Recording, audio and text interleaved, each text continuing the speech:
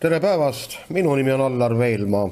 tänases videotunnis lahendame kahe tuhande kuueteistkümnenda aasta riigieksami kolmanda ülesande, mis oli mõeldud siis laia kursuse eksami sooritajatele. logaritmvõrrand. logaritmvõrrand on üks nendest võrranditest, mille puhul me võrrandi lahendamise järel siis X-i leidmisel peame tegema lahendi kontrolli, kas me teeme seda ühte või teistmoodi, see on juba siis meie maitse asi, näete, võrrand on kirja pandud ja ma kõigepealt leian selle võrrandi määramispiirkonna. ehk siis nende X-ide hulga, mille korral üldse neid logaritme on võimalik arvutada. esimese logaritmi järel oli ju näete X pluss kolm, teisel X miinus neli ja kokkuvõttes saame, et vasaku poole väärtust saab arvutada ainult sel juhul, kui x on neljast suurem. Nii et neli ja neljast väiksemad arvud meile ei sobi. nüüd vajalikud seosed. logaritmide summa ühel ja samal alusel teiseneb, näete, korrutiseks. ja logaritm mingist arvust samal alusel on võrdne ühega, logaritmi definitsiooni järgi A astmes üks on A. nii et kui me nüüd kõiki neid asju arvestame, mis siin hetkel on punase värviga kirja pandud, siis on meil selle võrrandi lahendamine väga lihtne.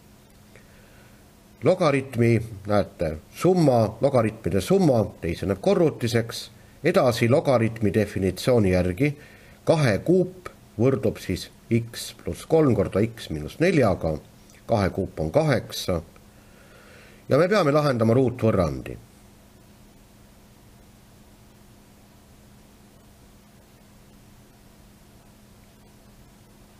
Lahendame siis selle ruutvõrrandi, kõigepealt avame sulud, kaheksa toome üle, lahendame siis taandatud ruutvõrrandi lahendi valemiga. loomulikult võib ka selle üldise valemiga lahendada, aga nii on ju lihtsam. Ja selle ruutvõrrandi lahendid on siis miinus neli ja viis. Ja vaadake, see miinus neli, näete, selle me viskame kohe nüüd välja, sellepärast et äh, tegemist on võõrlahendiga, ehk siis ruutvõrrandi lahendiks loomulikult see arv sobib, aga logaritm võrrandi lahendiks mitte.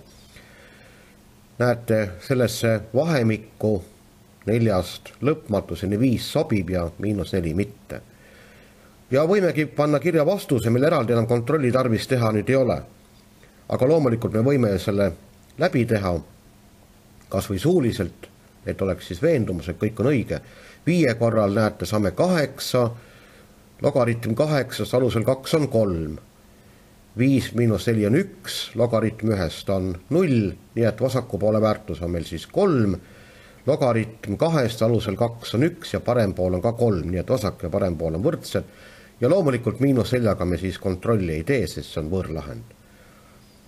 ja olemegi ülesande lahendamise lõpetanud. Minu poolt teile kõike head. kohtume järgmistes videotundides